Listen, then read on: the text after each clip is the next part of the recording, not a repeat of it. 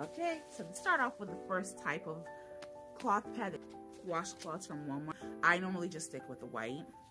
You can, of course, use all of them, use whatever color you want.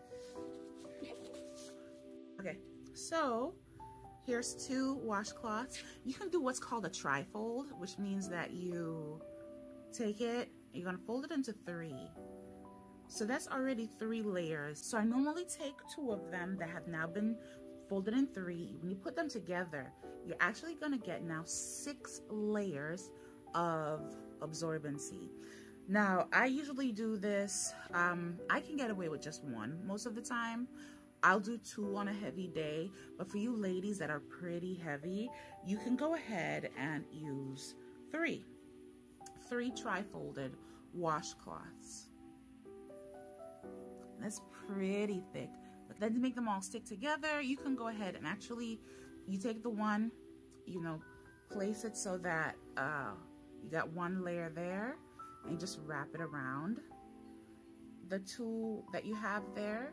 And then now you'll just have one very thick pad that has now nine layers, right? You're going to wear a very tight underwear with this. And if you're wanting to put so I know I've done it before, but let me show you. Your Walmart plastic bag can actually add, act as a layer of waterproofing. And hopefully you won't be making a lot of noise, but it's cheap, it's available. Um, and with this, you're just going to fold it up.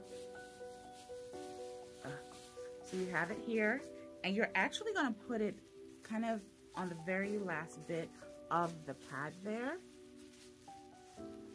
and just kind of fold it over and put it in your underwear with this part down.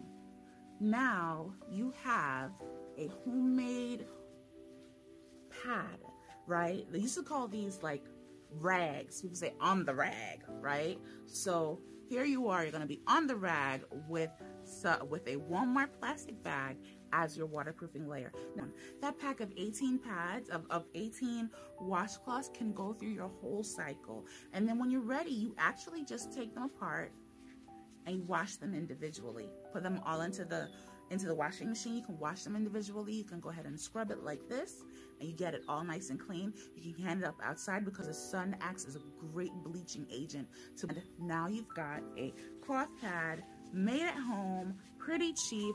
Here's your waterproofing layer, free from Walmart. Voila, your first homemade cloth pad. This is gonna be the first in a series of videos that I make for you to have your own DIY cloth pad, including how to make your own patterns.